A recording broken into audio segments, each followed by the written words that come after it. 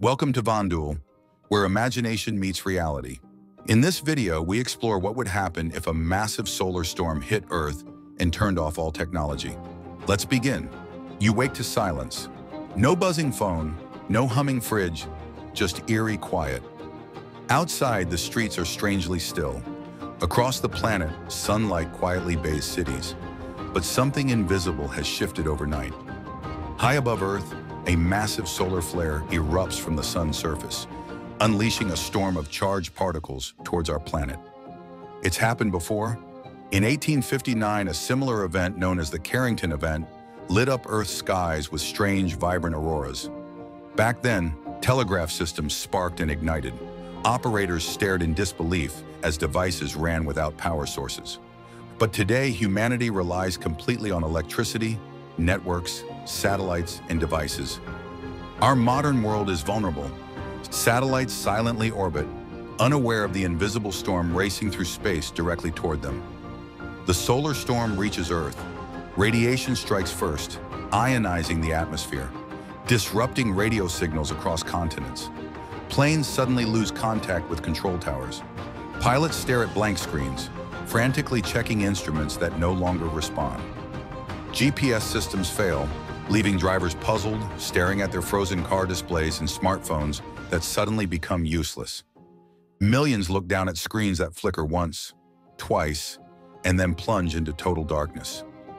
Power grids absorb massive electrical surges, transformers overload and explode in bright, frightening flashes. Entire cities blink out, their glittering skylines going dark block by block, plunging millions into confusion. Office buildings become tombs of silence as lights vanish. People sit stunned, unsure whether to wait or flee.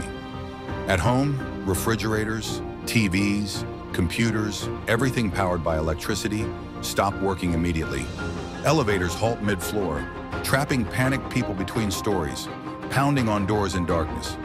Hospitals plunge into emergency mode, lights flickering onto backup generators that immediately strain to their limits.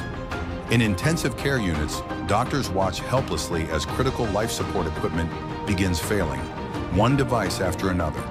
Gas pumps shut down, leaving panicked drivers stranded, holding empty nozzles and staring at darkened screens. People rush to ATMs for cash, but screens are dark, cards useless, machines unresponsive. Without electricity, water pumps fail and faucets run dry. Residents stare in disbelief at taps that offer nothing but empty pipes.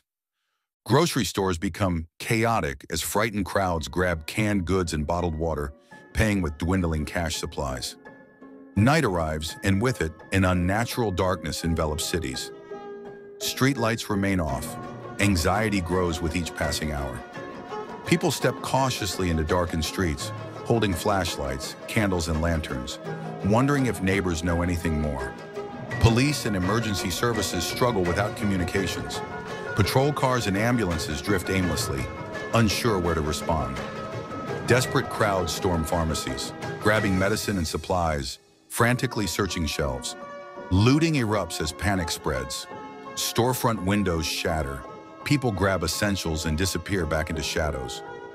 Families barricade themselves in homes, doors locked, windows shuttered, unsure of what threats await outside. Without fuel, generators sputter and go silent in hospitals. Emergency surgeries end abruptly, leaving patients stranded.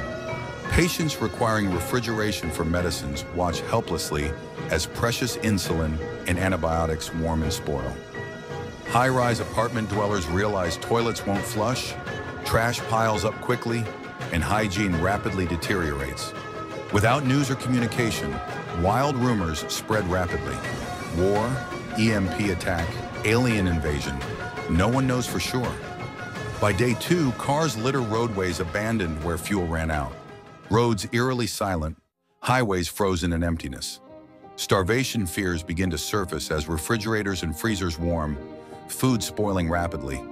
Without electricity, farmers struggle to irrigate crops or feed livestock. Farms grow eerily silent. People in cold climates realize their homes, once safe and warm, are becoming dangerous places without heat. In warmer climates, air conditioning and refrigeration fail. Dehydration sets in quickly, hospitals overwhelmed. City residents begin trying to flee to the countryside. Cars abandoned as they run out of gas or break down. Fuel tanks run dry everywhere, leaving stranded travelers walking empty highways seeking shelter. Starvation takes root quickly in cities with no new shipments arriving. Empty shelves and panicked crowds become common scenes. Violence flares in competition for remaining food, water, and medicine supplies, pitting neighbor against neighbor. Infectious diseases spread rapidly in crowded urban areas without proper sanitation or medical care.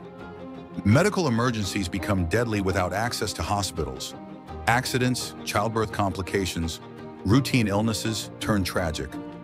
Authorities vanish in many regions, leaving communities to govern and protect themselves.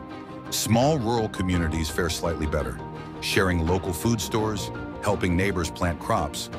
Off-grid communities remain relatively calm, relying on old tools and self-sustaining methods, largely unaffected. Remote tribes and indigenous communities adapt rapidly, living as their ancestors had, without modern technology. Amish communities maintain order easily, continuing life as usual, unaffected by the collapse of digital society. Nations lose contact with far-flung military bases and embassies. Armies cut off, uncertain of orders. Governments collapse rapidly, unable to broadcast messages or coordinate resources, leaving populations abandoned. Banking systems collapse, Currency becomes meaningless without digital transactions or functional economies. Global trade stops completely. Ships sit idle in harbors, planes grounded indefinitely. Factories and manufacturing plants shut down permanently. Workers lose their livelihoods instantly. Nuclear nations panic without reliable communication. Tensions skyrocket. Potential misunderstandings become catastrophic risks. Local governments try to maintain order, often devolving into isolated fiefdoms or communities. Civil conflicts erupt as political tensions ignite into outright warfare, are tearing countries apart. Refugees flee chaotic urban areas, overwhelming small towns that lack resources to help. Warlords or local leaders seize control in areas where national governments fail entirely. Borders close tightly, countries isolate, afraid of what lies beyond their boundaries. Small groups build makeshift radio stations, desperately trying to connect with distant survivors. People begin relearning old skills, hunting, farming, canning. Skills once considered outdated become crucial. Manual labor becomes essential. Blacksmithing, carpentry, sewing, crafts that keep communities alive. Communities begin using rivers and wells for manual irrigation, salvaging survival from the simplest resources. Electricians and engineers attempt to rebuild small, localized power grids from scraps and salvage parts. Inventions emerge from necessity, windmills, water wheels, replacing old technology with practical solutions. Children learn skills of survival rather than digital literacy, growing up in a radically simpler, harder world. Communities band together for defense, erecting fences, training militias to protect precious resources. Neighbors share essential resources, food, medicine, water, forming tight bonds through shared hardship. Years pass, small communities successfully sustain themselves, adapting to a simpler lifestyle. Local trading posts emerge, bartering goods and skills, replacing money-based economies. Basic communication restored through primitive radio networks, connecting isolated communities again. Over decades, limited electrical infrastructure slowly rebuilt, cautiously used, never fully trusted again. Societies emerge smaller, simpler, emphasizing cooperation, community, and local sustainability. The devastating storm reshapes human values, making clear what truly matters. Food, water, shelter, community. Survivors remember the solar storm vividly, passing down warnings to future generations. Monuments and memorials built in ruined cities, reminders of the lost modern civilization. Oral traditions and handwritten records replace digital archives, preserving vital human knowledge.